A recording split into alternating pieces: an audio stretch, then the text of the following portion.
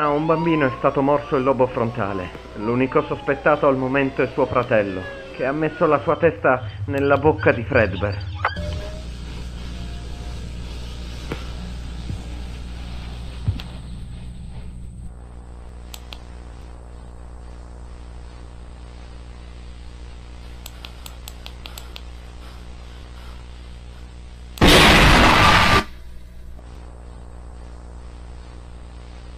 Questa volta c'è qualcosa di più di un'illusione di cui aver paura.